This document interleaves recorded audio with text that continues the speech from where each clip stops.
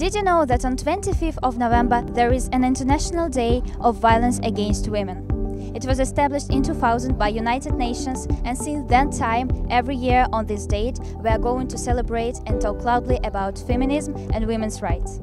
The world has extremely changed within the last 22 years. There are some crucial achievements in fighting against violence on women. And today, let's know what students of EMU know about this issue. So basically, um, what uh, what I hear about the the empowerment of women, it happens. It is actually happening in my country, in my home country, Pakistan. That is. So I hear from the news. I haven't witnessed it because I haven't been to my home country much, but I've seen from the news channel, from social media, basically, basically, that like it shows that there is like woman uh, woman march, or we call in our own language Aurat March.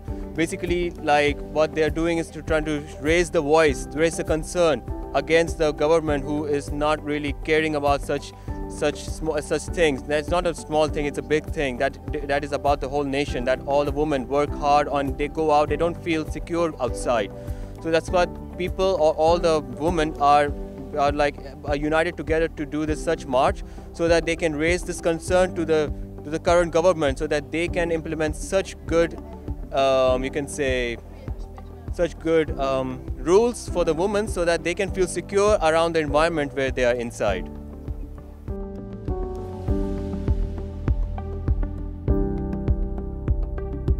Okay, I'm from Southern Africa, and there's one in South Africa called Women for Change SA.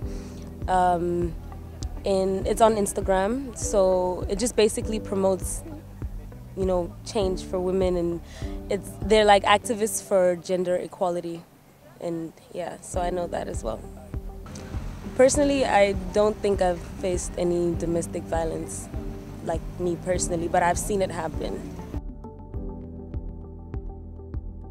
Yeah, exactly. I'm thinking it's important to celebrate because um, these days a lot of women struggling with uh, violence, like even Iran, what we saw, like um, after this happened, a lot of people start to increase their voices. So right now, people caring more. We we don't uh, shut up this time. We are just speaking and we are raising our voice to protect our women, and it should be like this also. Yes, actually I talk about it a lot because I don't uh, feel shy about it. It should be speak for every family because people, when they don't uh, raise their voices, um, I guess men they thinking themselves more uh, like stronger because uh, a lot of girls they don't speak about it in home. They struggling with maybe uh, violence, but if you share, you're feeling more comfortable and you can get help about it.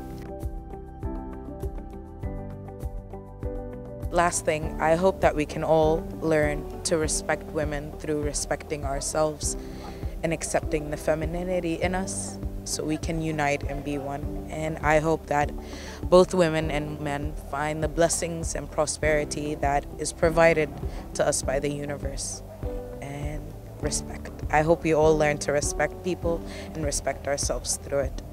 And that's all. Thank you.